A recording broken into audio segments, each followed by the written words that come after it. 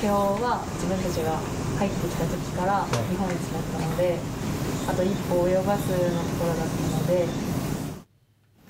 悔しさをにじませるのは高知中央高校女子硬式野球部キャプテン宇治原真中さんです。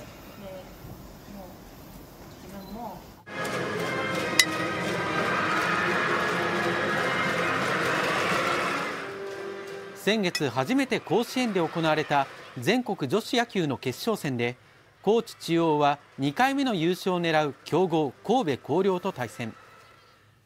結果は0対4と夢の日本一にあと一歩及びませんでしたが創部3年目での準優勝は県勢女子野球初の快挙となりました。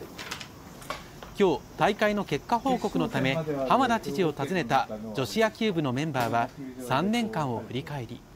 今までやってきたことが結びついて決勝まで行けたしあとは後輩に任して日本一を取っていただくっていう。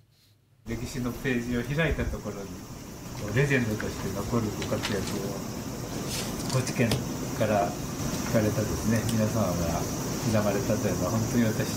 嬉しく思ってますし。練習が本当に厳しくて諦めない気持ちと挑戦する気持ちが本当に高校野球の3年間で学べたところだと思うので諦めずに本当に自分のように野球が好きであれば高校でも野球を続けてほしいっていうふうに思ってます。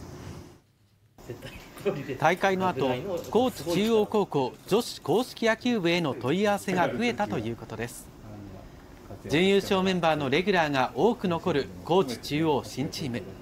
これからの活躍に期待です。vorbereitet.